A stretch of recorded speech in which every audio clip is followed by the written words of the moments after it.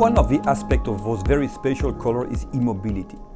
More and more parts under the hood will be uh, linked directly with current and represent a real danger for people doing the maintenance, in worst case for firemen. So those parts under tension have to be identified clearly. And those parts for, has been chosen in orange. So orange is not an easy color to be matched because there are not so many pigments that can withstand the heat of a polyamide 6,6.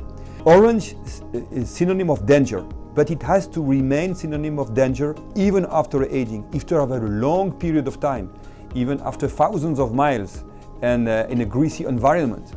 So we have constraints about orange brightness, duration of the orange within time and within heat because it's an environment which is very uh, uh, exposed to high heat and plastics generally they tend to oxidize.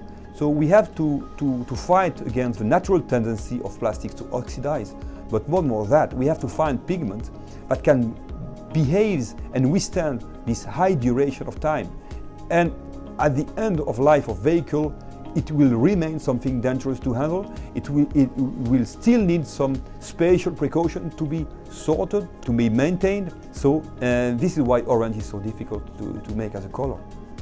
So at Ascend, we've worked uh, this problem of orange, finding a stable orange for, for e-mobility.